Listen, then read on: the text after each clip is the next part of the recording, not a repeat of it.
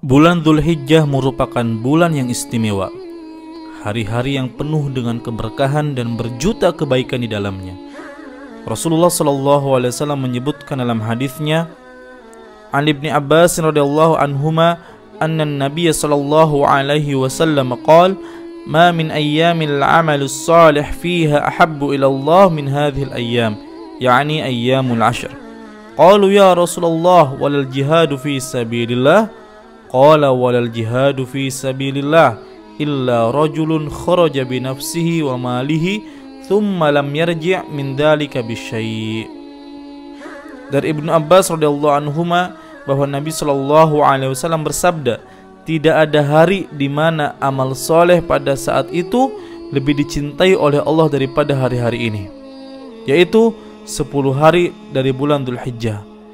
Mereka bertanya, "Ya Rasulullah, tidak juga jihad fi sabilillah beliau menjawab tidak juga jihad fi sabilillah kecuali orang yang keluar berjihad dengan jiwa dan hartanya kemudian tidak kembali dengan sesuatu apa pun sudah seharusnya kita memanfaatkan momentum yang sangat berharga ini dengan banyak melakukan amal soleh di dalamnya.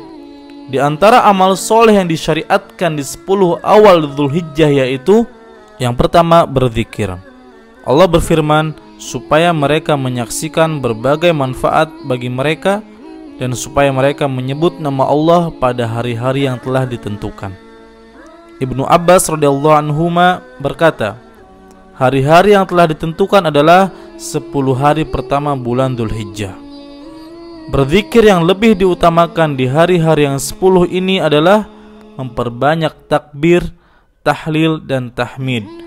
Rasulullah Shallallahu alaihi wasallam bersabda, "Maka perbanyaklah di hari-hari tersebut dengan tahlil, takbir dan tahmid." Hadis riwayat Ahmad sahih. Yang kedua, berpuasa.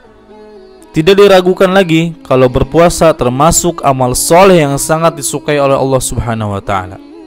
Di samping anjuran melakukan puasa Arafah pada tanggal 9 Zulhijjah, maka disukai juga untuk memperbanyak puasa di hari-hari sebelumnya dari tanggal 1 sampai dengan 8 Zulhijjah.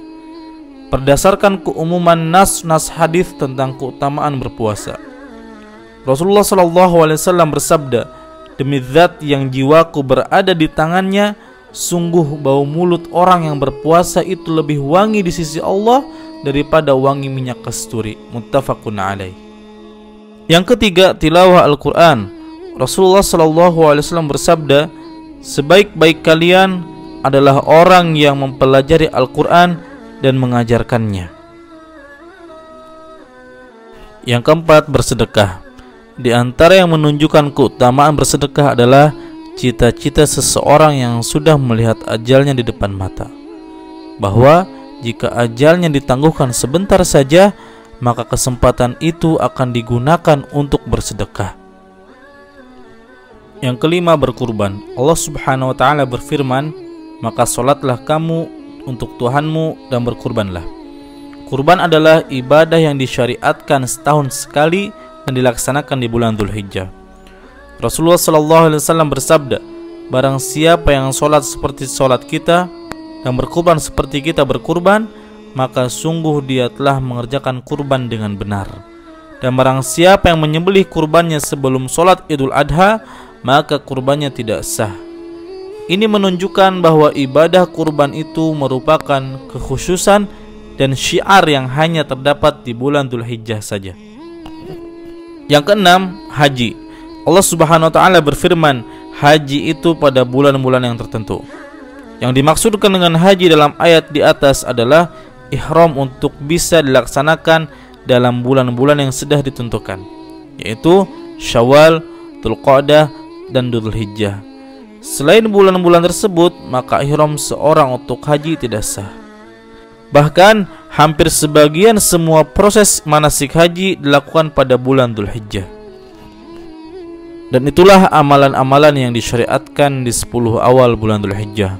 Mudah-mudahan kita menjadi hamba Allah yang senantiasa berlomba-lomba dalam kebaikan demi menjemput kebaikan yang ada di bulan ini. Terima kasih. Wassalamualaikum warahmatullahi wabarakatuh.